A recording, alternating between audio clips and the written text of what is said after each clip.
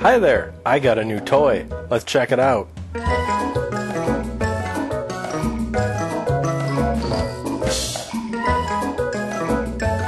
Yes, this is a 3D printer. Does all the cool magical things where it melts the plastic and makes it into the 3D things, and it's kind of like magic. You might be asking, why do I have a 3D printer? Well, it kind of goes like this.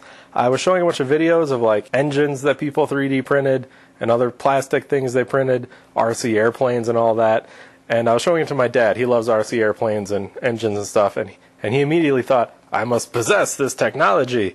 Uh, and he ordered one right there. That moment, that day, a original Prusa i3 Mark II S, and it came assembled, calibrated, supposedly ready to go right out of the box. Uh, and uh, but why is it here? You might ask. If he ordered it, well, I went a little something like this: Merry Christmas. Take that witchcraft device home with you, and you figure it out. I've been playing with it a lot. I mean, testing, testing it a lot, and uh, I've made a bunch of things. So the idea here is that it melts some plastic and it deposits in layers, layer, layer, layer, layer, layer, built on layer, built on layer, and in the end you get a three-dimensional object. Some of these worked, some of these didn't. I gotta say, most of it worked perfectly good. Uh, I have no basis of comparison when it comes to other 3D printers. I have no idea what I'm talking about. All I did was open the box, plug it in, and go. So if you want to know how it is for an idiot to take this straight out of the box and get going, this is a good example. Here's all the stuff that I've been making so far, some of the stuff. Now these are all made with the 3D printing filament that was supplied. I think it's called PLA in silver, and the majority of them were from files I found online. So like, my wife's a big Doctor Who fan, printed this nice kind of big thing, a weeping angel. A pony, there are a lot of ponies online, and my, my daughter loves this show. I actually printed more than one of these, but I can only find one of them. They kind of disappeared. A little car, an Opel Manta, Check out the detail on that thing. Headlights and stuff and grills. So it came with a couple of things like this this little acupuncture needle for stabbing people who get in the way of your prints. No, I think it's for cleaning the nozzle. Uh, I've added some some cutters, these pliers, which proved to not be very useful because I melted the tips with a blowtorch. My bad. And this is a skew like paring chisel for for wood carving, a WoodRiver chisel, but I use it for getting the things off the bed. I printed a whole bunch of things, including like this boat. Now this is with purely factory settings. I didn't mess with anything. I used a program called Prusa Control, I guess is what it's called. And uh, it, it came out nice. Came out really nice, actually. I'm really happy with it. And if you're wondering about these colored Pokemon, there's oil paint pens and a very artistic wife. She's the one who made them colorful. Underneath, they're just gray. I had more of those, but, you know, daughter plays with them and that's pretty much it. I'm making mainly toys uh, for my kid and just testing things out because I don't know what I'm doing. But still, success, right? Sometimes not. This one here was supposed to be a Bulbasaur. Did not work out so well. Looks like a Bulbasaur who got, uh, I don't know, run over by a bus, maybe? But as far as I can tell, this sort of luck is really good for 3D printers. I've heard it referred to as a plastic sadness simulator.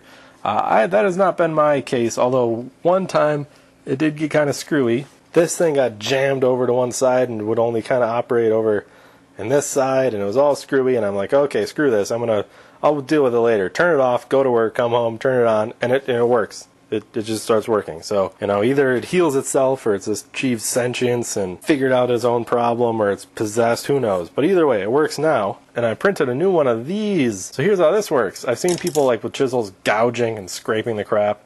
This is a specialty chisel for paring wood.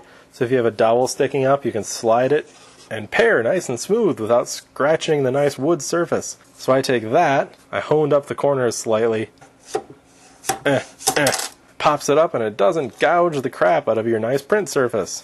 I think the symbol on like a car in Japan means you suck at driving, or you're new to driving, or something about not being great at driving. So watch out. So I'm going to stick this on the keychain of the Jeep, because uh, you know, a three-year-old girl driving a Power Wheel Jeep probably not the safest driver. Is there anything useful you can do? Yes, a couple things. One, this plastic melts at a low temperature. So you can treat it like wax, cover it in plaster, and then burn it out and cast it. Yes, lost PLA plastic casting is going to be a thing that I'm going to do. Probably not a pony. I don't want my kid leaving little metal ponies everywhere. The plastic one's hard enough. Maybe I'll do little cars. I don't know. But check this out. This is from a flapper on like a dryer. Well, these break, and then you got to buy like the whole new assembly. So we thought, screw that. We'll try to prototype some, which I have here. Print them up, and uh, we'll just use those. Throw them in the work truck. Stick them on when they fall off. You know, printed one. This is this is done in the lowest quality, hence the the real visible layers. But it wasn't quite right, so I modeled up a slightly bigger one and then you can do this, which is which is pretty nice with a 3D printer. So I'll I'll probably be doing that. No videos on that probably because that's really boring, really really boring. But hey, it's useful. And that basically is the gist of it. So something else to worry about.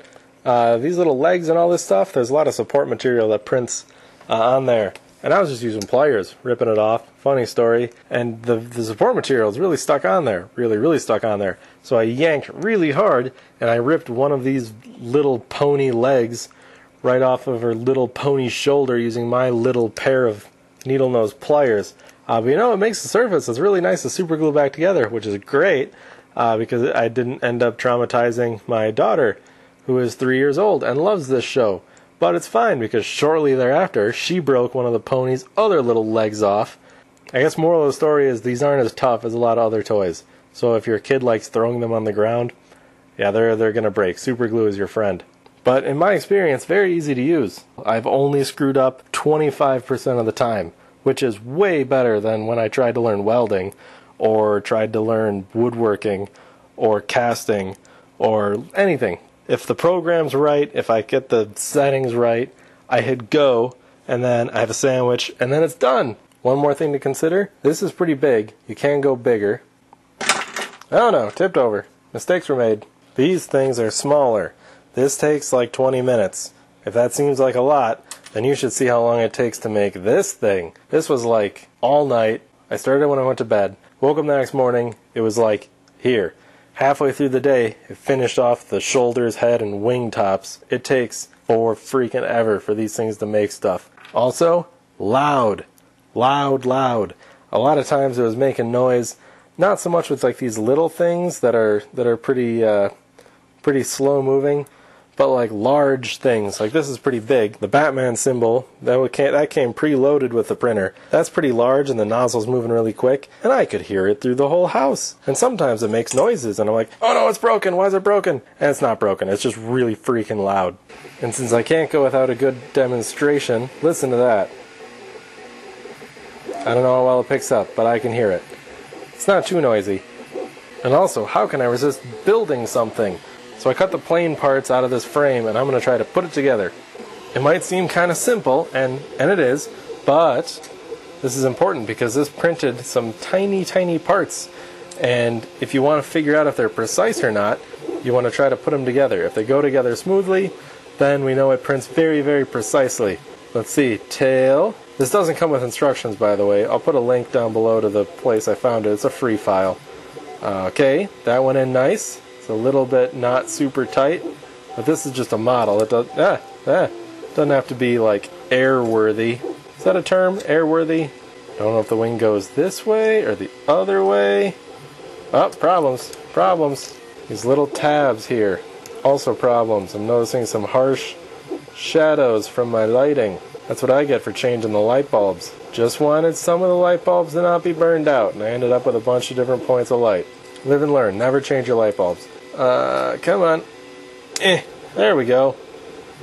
It snapped, it snapped. I assume that hole is the center. Really nothing to hold it in. Uh, alright, I guess that works. Landing gear? Alright, snaps in. I bet you gotta bend these down. You can't really with this. This is this PLA plastic, it's brittle. They would snap if I bend them down. So I, I'm gonna not do that. And then this, the prop, eh? See? It works, kinda. It's a bit floppy, but hey, a little super glue, some duct tape, and then trying the whole thing over again, and it'll be good as new. And if you want to see me print anything specific and then cast it in aluminum using lost PLA casting or sand casting, you can make sand casting patterns in these too. Uh, let me know. Let me know in the comments. So there you go. I like this printer. I'm going to make a lot of things with it, and then we're going to make them into metal, and I'll probably do other stuff. Uh, if you have any specific questions about 3D printing, I'm not the person to ask. I have no idea. Probably want to find an expert.